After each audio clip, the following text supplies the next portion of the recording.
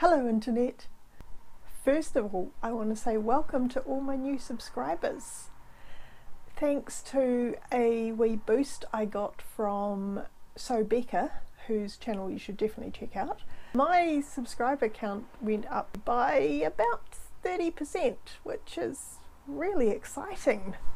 So, to all of you new people, just so you know what you're letting yourself in for here, I mostly post videos about random crafty projects I'm working on and interesting places I've travelled to, although you kind of have to be patient for those because given my past record it can sometimes take up to a year before I get around to editing all the videos from a big trip. And sometimes like this video I just talk about random stuff that's been happening in my life. One thing you should probably know about me is that I'm non-binary, which means that my gender is not female or male, it's something else entirely. I've got more videos about what that means if you want to have a look back through my channel. And because I'm non-binary, if you're talking about me, please use they pronouns, not he or she.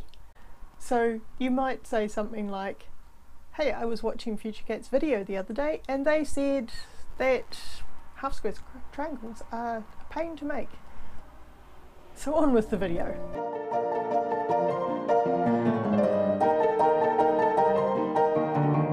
There have been some really big changes in the Future Cat household lately. My nephew and his girlfriend have moved in to my backyard. When my nephew was really little, we always used to joke that when he came to university, he was going to come and flat with me and we'd go to university together. Of course, when he grew up, my house is not big enough to have another person living in it, and certainly not two people when he got a girlfriend. And my only spare room is my sewing room, and he's not getting that.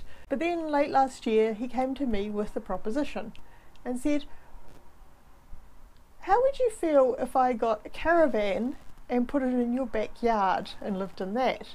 He pointed out that a really good self-contained caravan would cost less than a year's rental in Christchurch. So it was actually an economically sound proposition and he convinced me that it is actually possible to live in a caravan for a year and not freeze to death in winter or anything. So we spent the summer working out all the details and did a lot of work in my backyard. We had to rip out the big flax bush to make enough space for the caravan and trim some trees so that it could be manoeuvred into the space.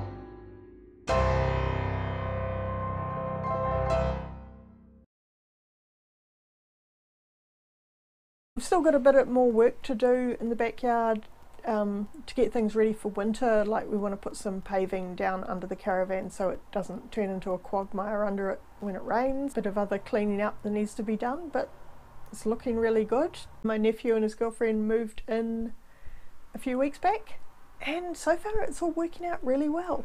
So I have new neighbours now. Hello, Internet. I'm Caleb. Hi, I'm Caleb's girlfriend. now going to be known to the world as Caleb's girlfriend. Yeah, that's fair enough. That's Yeah. fine. Yeah.